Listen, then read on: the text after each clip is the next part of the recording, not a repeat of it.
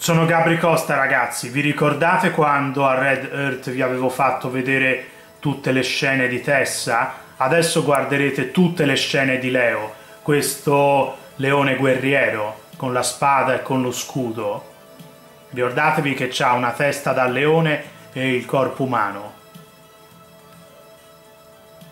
Vediamo se Leo riuscirà a farcela a compiere questa missione con il vostro aiuto ce la potrà fare. Deve mettercela tutta, con tutte le sue forze.